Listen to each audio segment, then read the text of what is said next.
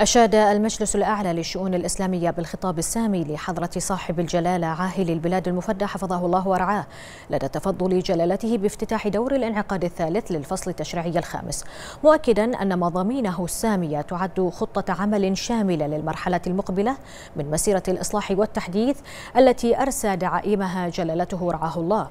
كما ثمن المجلس في جلسته الاعتيادية التي انعقدت عن بعد عبر تقنية الاتصال المرئي برئاسة معالي الشيخ عبد الرحمن بن بن محمد بن راشد آل خليفة رئيس المجلس الإشادة الملكية بالمستوى المشرف الذي رافق مراحل العمل في مكافحة جائحة كورونا بقيادة سمو ولي العهد.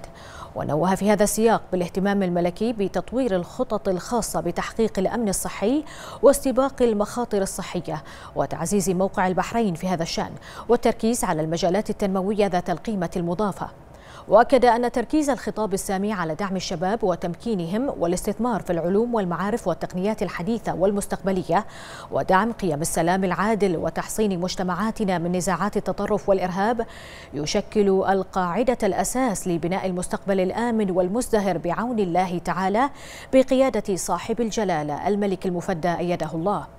إلى ذلك هنأ المجلس معالي الشيخ عبد الرحمن بن محمد بن راشد آل خليفة رئيس المجلس بمناسبة ضم معاليه إلى عضوية مجلس حكماء المسلمين بقرار من فضيلة الإمام الأكبر الأستاذ الدكتور أحمد الطيب شيخ الأزهر الشريف رئيس مجلس حكماء المسلمين تقديرا لجهود معاليه وخبراته الطويلة في العمل الإسلامي وتأكيدا لدور المجلس الأعلى للشؤون الإسلامية بمملكة البحرين وموقعه الريادي وما يمثله من نموذج طيب للوحدة بين المسلمين.